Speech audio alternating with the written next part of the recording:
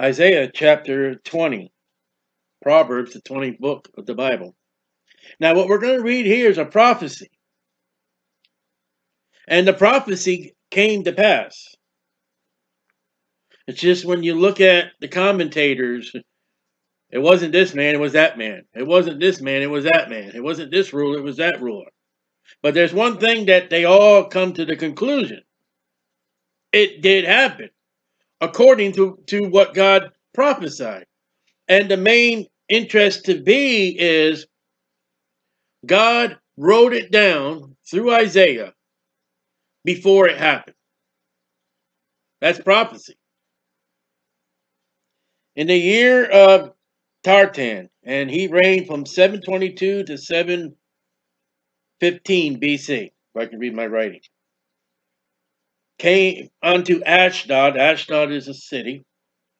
When Sargon, the king of Assyria, Sargon the man, sometimes not, not the man, it's a title, king of Assyria, sent him and fought against Ashdod, the city, and took it. All right, so we're given a date here. And I didn't look up this date, but you can date. Sometimes the Bible gives us the date, the year.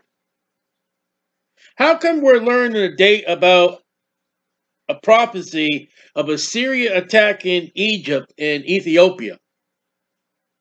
And we can go back to the Chronicles again. It, it, the, the date varies. How come we can go back into the Chronicles of history and say, ha ha, this is, this is about when it happened. And when we come to Ezekiel, Ezekiel forever on this month, on this day, and this year, many times through the book of Ezekiel. And you would think that God would say, if it's very important, that Jesus was born on this month, on this day, and this year. And it's not. And that God gives us precise on the month of Abib, on the 14th of Abib, you're to slay at even 6 p.m. the Passover lamb.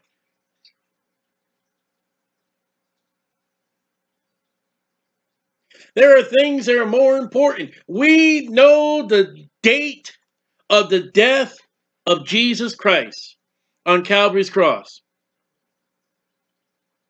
We can come to the date of the prophecy of Isaiah through God, or God through Isaiah. But we don't have the date of the birth of Jesus Christ. And churches lavishing December 25th, which ain't, and some of them say, well, that's not the birthday of Jesus. And then they'll go ignore history and church history. This is important. That, like I said, there's so many. If you want to study, I'll leave it to yourself because the Bible says, study to show thyself approved unto God, a workman that needs not to be ashamed. I'm going to leave the study yourself. Go and study Isaiah chapter 20 and find the information I found. And there's there's several different dates and, and activities. But there's one conclusion. It did happen, and it was written before it happened. At the same time, spank the Lord. the same time that uh, Tartan fought against Ashur and took it. Right around that time, look it up in history, the Lord by Isaiah, Isaiah chapter 20, the Lord by Isaiah the son Amoz saying, this is a dated thing by God. Go and loose the sackcloth from thy from off thy loins. So Isaiah is already in sackcloth, and we haven't seen anything about sackcloth. Isaiah is in mourning of what he is prophesying, what God is showing him about the condition of his Israel, of Israel, his people, by being in sackcloth. And God says, take off that sackcloth from off thy loins. Put now when I watched this, I saw this. Put off thy shoe from thy foot.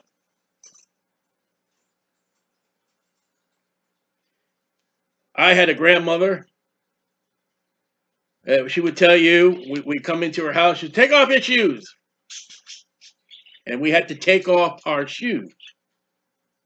And there's been many places I've been where, can you please take off your shoes? Sure, no problem. It doesn't say put off thy shoes. It says put off thy shoe. It's singular.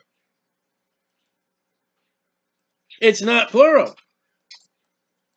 And the same thing too is uh, I'm checking here is that let me check over here.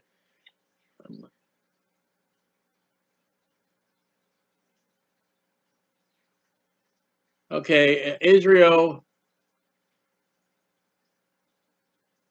It led you 40 years in the wilderness, your clothes not waxed upon you, thy shoe is not waxed. But when we come across here, when God's dealing with, with, with Moses, he tells him, put off thy shoes. Okay, and there's one other place I want to check. Uh, Joshua.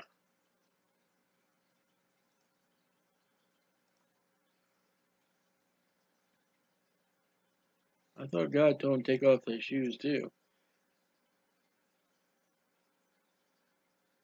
I'm checking it.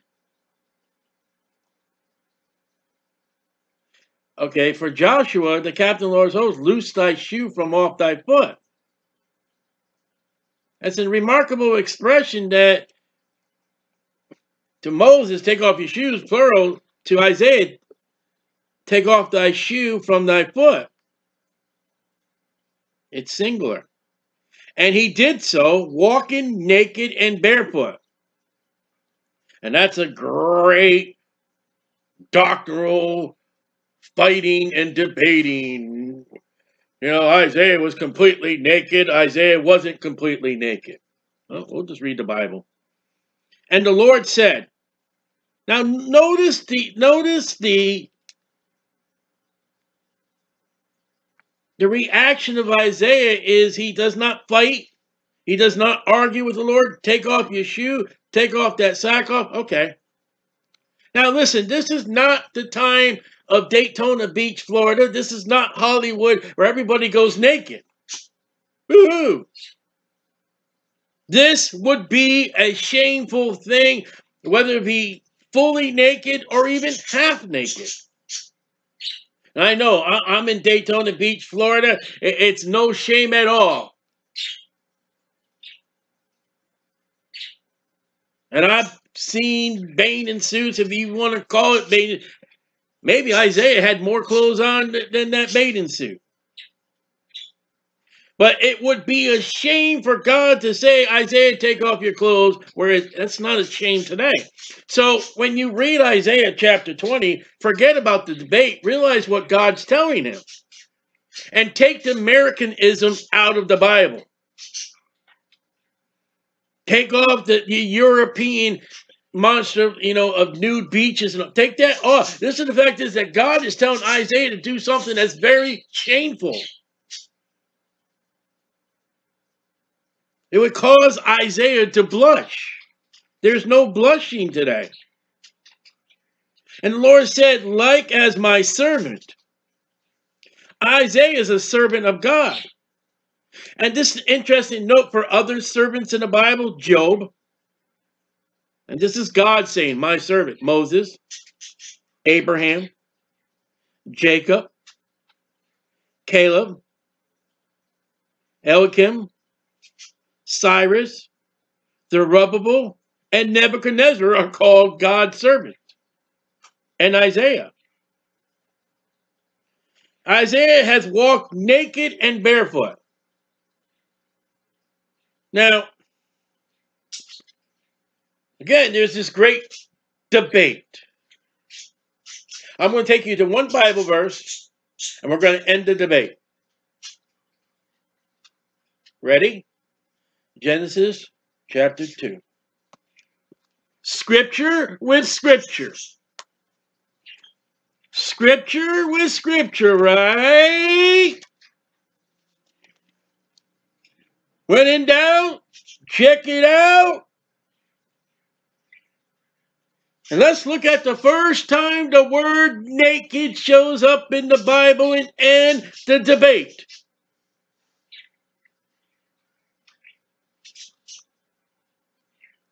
Uh, Genesis 2, verse 23. And Adam said, This is now bone of my bones, flesh of my flesh. Kind of interesting. God just brought the woman to him. That's bone of my bones and flesh of my flesh. Kind of interesting what we're going to look at the context. She shall be called woman because she was taken out of man. Therefore shall a man leave his father and his mother, and shall cleave unto his wife, and they shall be one flesh. And they were both naked, the man and his wife, and they were not ashamed. And then they sinned against the Lord and they sewed fig leaves together and call and, and covered their vital sexual parts.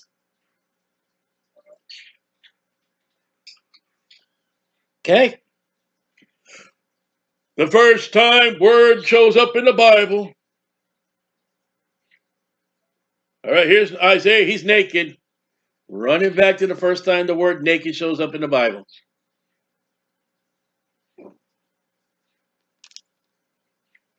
Okay. Walk naked and barefoot three years for us. Three years?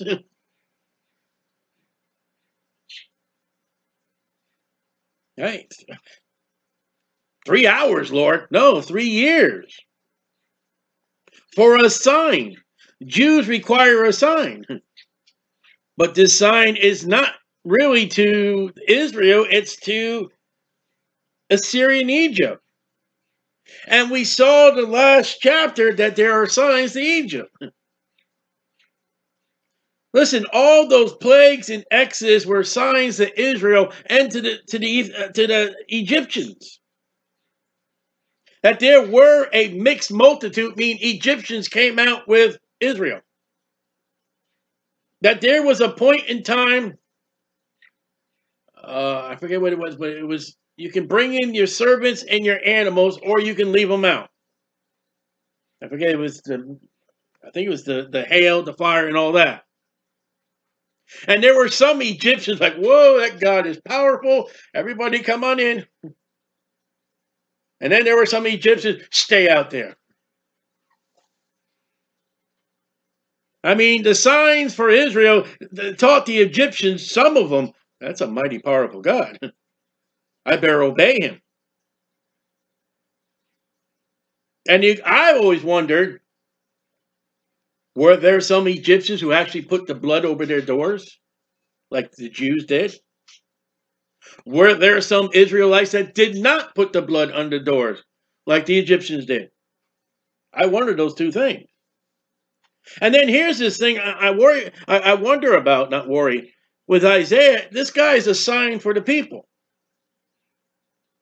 Jeremiah is told not to marry. Ezekiel's wife is taken in death by a stroke, and, and God tells Ezekiel, Thou shalt not cry. That's one of the things I don't like about God.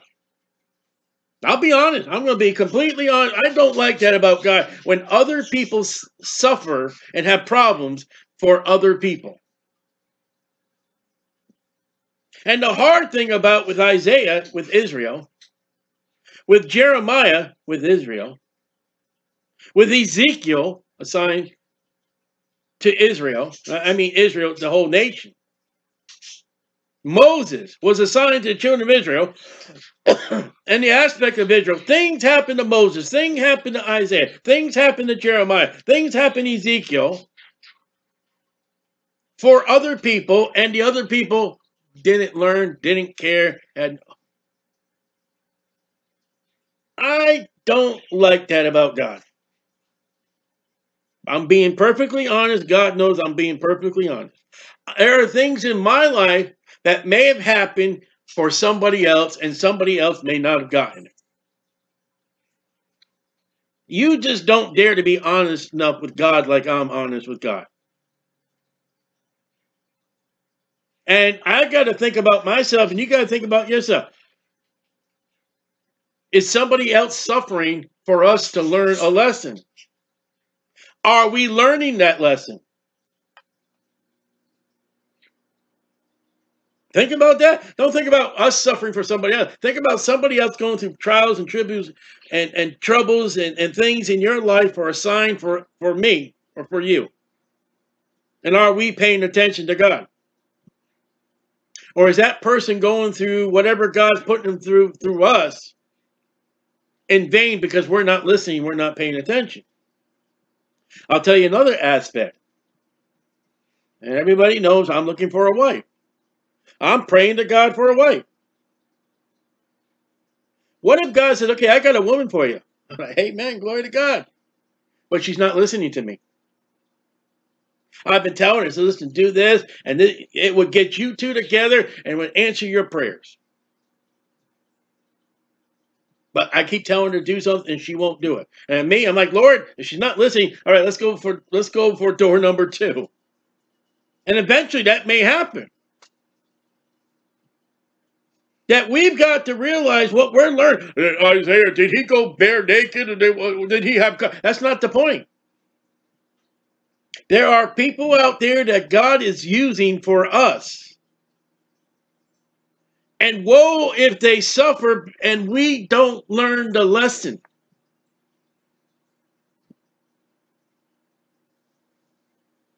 Now, we're looking at Egypt. In chapter 19, we see that Egypt is going to get right with God in the millennium. And it's times like the book of Exodus, and it's time with chapter 20 that maybe Egypt's going to get to the point before chapter 19. They're, they're going to go through the scriptures. They're going to say, hey, look at that. God spoke about our nation, and it came to be exactly as God. All right. God is the God, the God of the Bible, the, the Hebrew God, the, the Jehovah. That is God, and believe on him.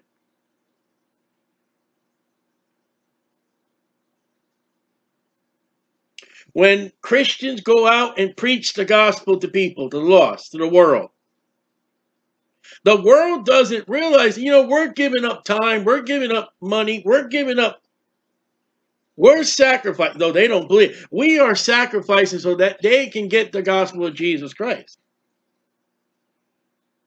And those that believe in the Lord Jesus Christ, what a wonderful, great thing to get the glory.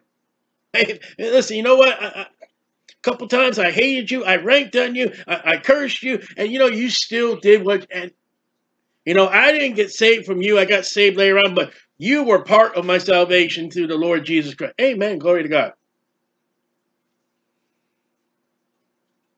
How about the man that goes to hell?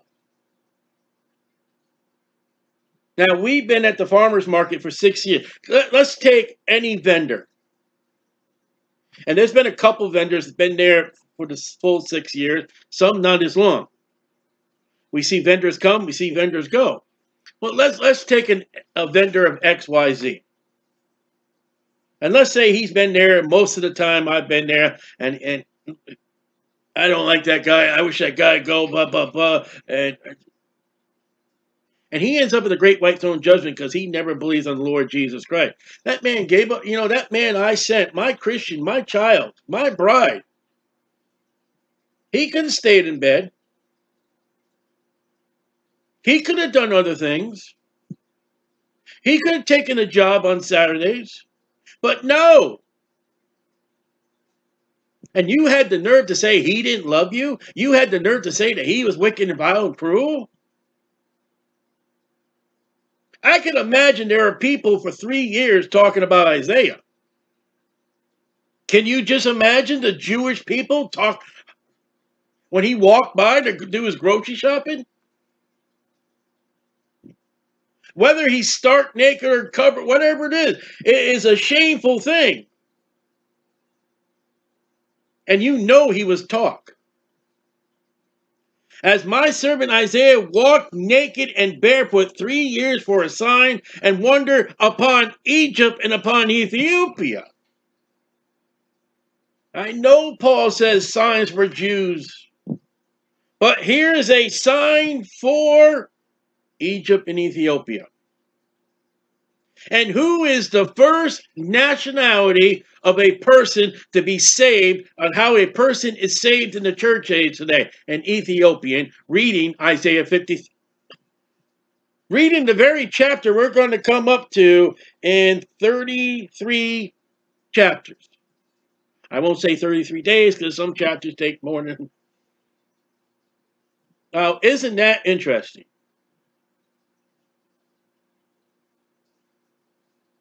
You ever wonder? See, I wonder. Was it just Isaiah 53? Did he happen to have Isaiah 19 and 20? He say, hey, hey, that's my people. And then he flips over to chapter 53 and reading it. I don't know. So, so shall the king of Assyria, and like I said, you can read, there, I've, I've seen three different kings, they said this happened. And there may, there may have been three different events. There were three different times that Babylon came into Judah. So shall the king of Assyria, it doesn't give a name. But the name we do get, Sargon, verse 1. And one of the references I read, they said it wasn't Sargon. So shall the king of Assyria lead away, lead away the Egyptians, prisoners. That's not good and the Ethiopians captives, taken in battle. Young and old, naked and barefoot, like Isaiah was, even with their buttocks uncovered. What are you going to do with that one?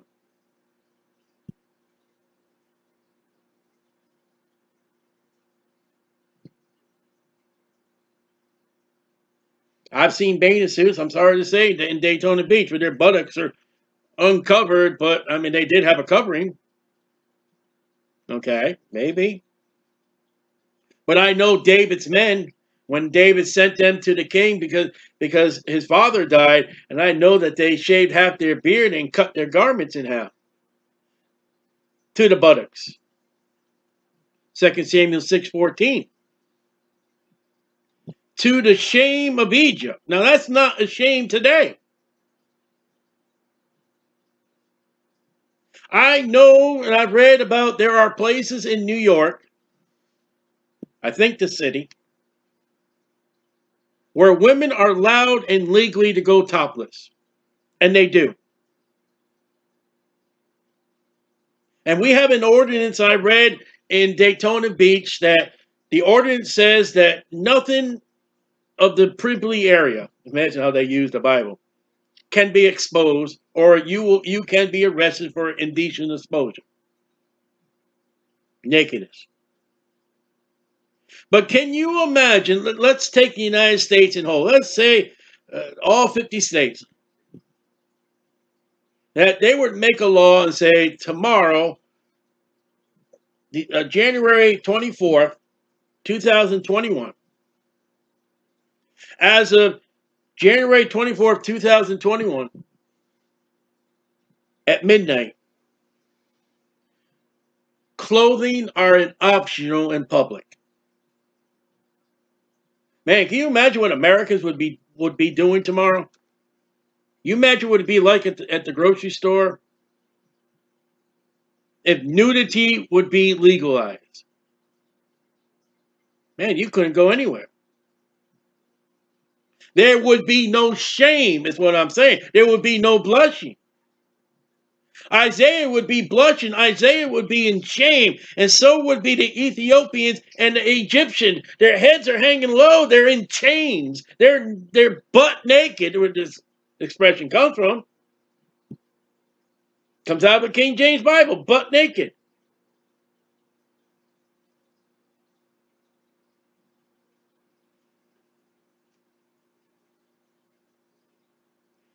And they shall be afraid and ashamed of Ethiopia, their expectation, and of Egypt, their glory. Oh, the great pride, oh, the great proudness reduced to chains and butt naked,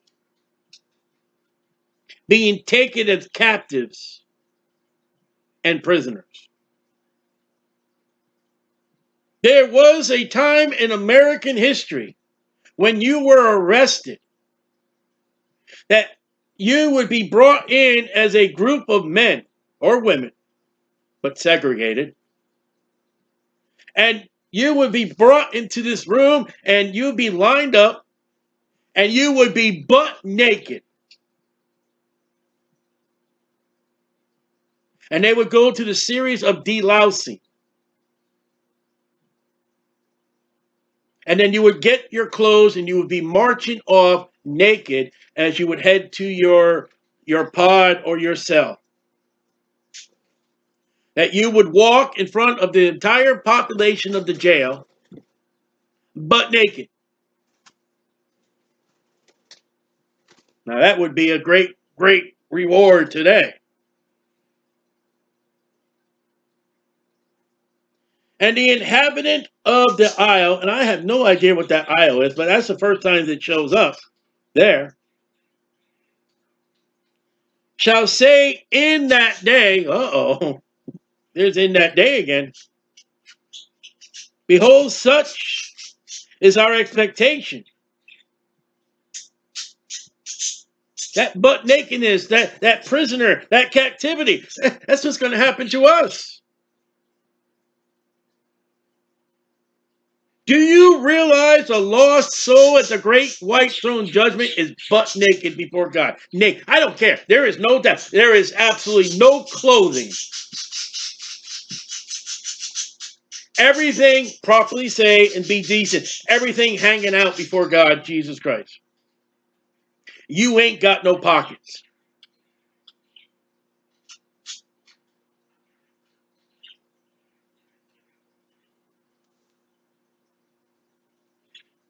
What are you going to do with that one? The only ones that are clothed are the righteous, the, the, fine linen, which is the righteousness of the saint. The saints are clothed. Whether we flee for help, to be delivered from the king of Syria, we're, we're, we're going to run. But the, the main conclusion would be, how shall we escape? We don't want to end up like them. Listen, if, if in America today, if one group of people ripped off their clothes and they protested and they had signs and they, they fought their congressmen and they fought the leaders and they got the laws passed that we can go naked, everybody, hey, let's get naked in America.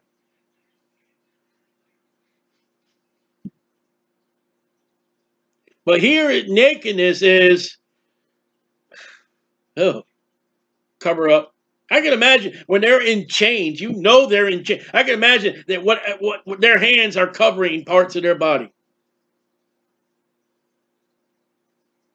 Have you ever seen pictures of the concentration camp, camps of the Nazi parties of the Jewish people? They'll be lined up, and guess what? They don't have no clothes. What are you going to do with that one? When, and it's evil thing, slavery, when they went over to Africa and they got slaves and they put them on the boat to bring them over, guess what they were? Most of them were naked. Some had covering.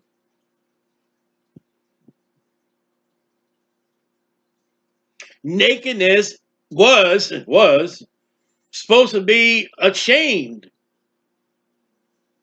Not today. I mean, there is a reason why a streaker streaks and runs. Because you're not supposed to be naked.